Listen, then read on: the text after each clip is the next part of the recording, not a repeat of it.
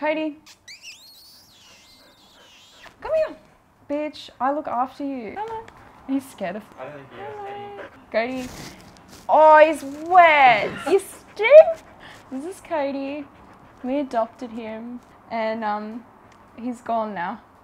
But he's got arthritis in his legs, so he's hobbling along. Ruff.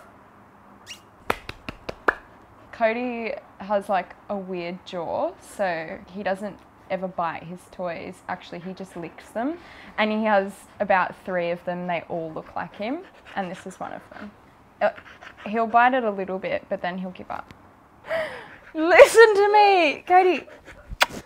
Come on. Yay. Yeah, he's a, he's a good dog.